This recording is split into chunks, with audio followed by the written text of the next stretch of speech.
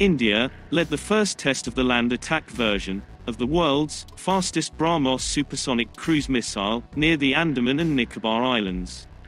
India will conduct several live tests of the supersonic cruise missile BrahMos this week. For this, a target was set on another island, whose missile was successfully targeted. This week, the Army, Navy, and the Indian Air Force will carry out several operational firings, with a 290 km range BrahMos missile in the Indian Ocean region, demonstrating its precision strike capabilities in an ongoing military confrontation with China in eastern Ladakh.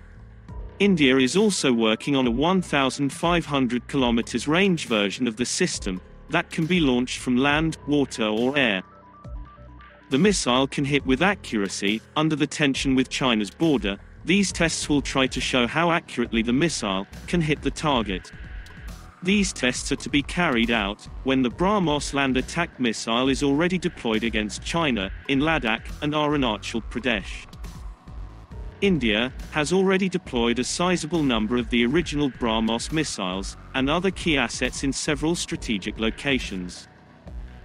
Similarly, some Sukhoi 30 MKI fighter aircraft equipped with BrahMos missiles are also stationed in airbases close to the line of actual control.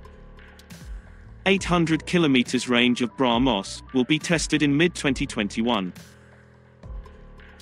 increasing the missile's range to 400 kilometers, and now 800 kilometers, became possible after India's induction into the Missile Technology Control Regime in June 2016. India and Russia together have developed the supersonic cruise medium-range missile BrahMos.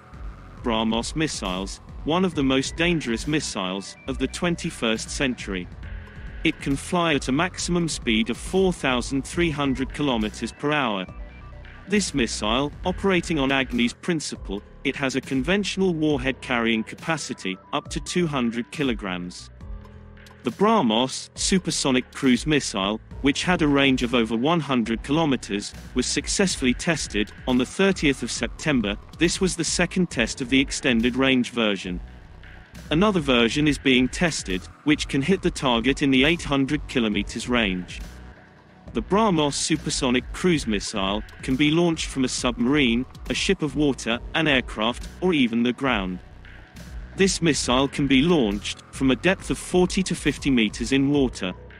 Russia's NPO, Mashinostroyenia, and India's Defense Research and Development Organization have jointly developed it. It is based on the technology of Russia's P-800 Oniks cruise missile. Marine and land versions of BrahMos have already been successfully tested and handed over to the Indian Army and Navy. BrahMos is the most modern missile system ever developed by India and Russia and has made India a missile technology leader. The missile provides the Indian Air Force a much desired capability to strike from large standoff ranges, on any target at sea or on land, with pinpoint accuracy by day or night and in all weather conditions. The Indian Air Force is also integrating the BrahMos supersonic cruise missile on over 40 Sukhoi fighter jets, which is aimed at bolstering overall combat capability of the force.